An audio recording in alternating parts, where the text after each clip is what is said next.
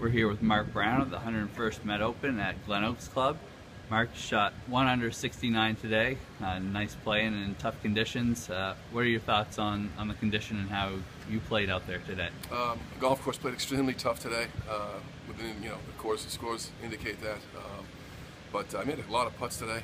Um, par saves early on, and uh, you know, just kind of trying to manage the ball out there. Um, front nine, I shot one over with a bogey on uh, my eighth hole, 17 and then I made the turn. I made a couple, uh, again, a couple putts to make uh, birdies, but a little steady on the back nine. Front nine, I really scrambled a little bit and kept myself in the game. Any particular part of your game that was really making you score well today? I would definitely say the putting.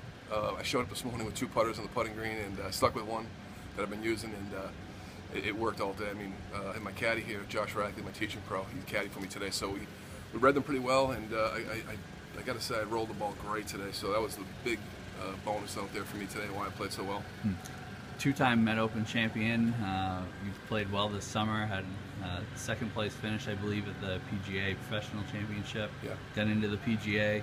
Uh, what have been some keys to your strong play this summer?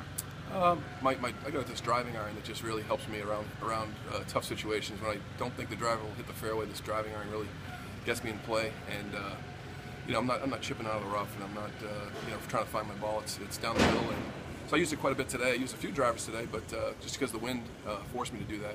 Uh, but this driving iron really saved me a lot, and you know, along with some good putting and some good uh, par saves, just keeps you in a good mental uh, state. All right, congratulations on the great round today. Best of luck the rest of the way. Great, thanks.